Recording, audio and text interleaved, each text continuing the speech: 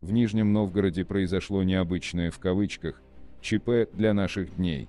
К медикам обратился мужчина с сильной болью в животе. Медики были в шоке. В его организме они нашли вибратор.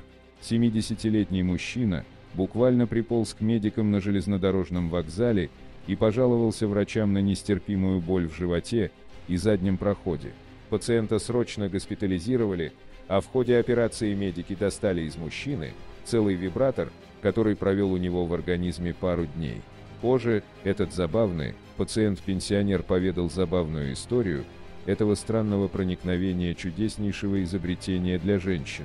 Оказалось, что несколько дней назад недалеко от Дворца культуры железнодорожников мужчина познакомился с двумя мужчинами.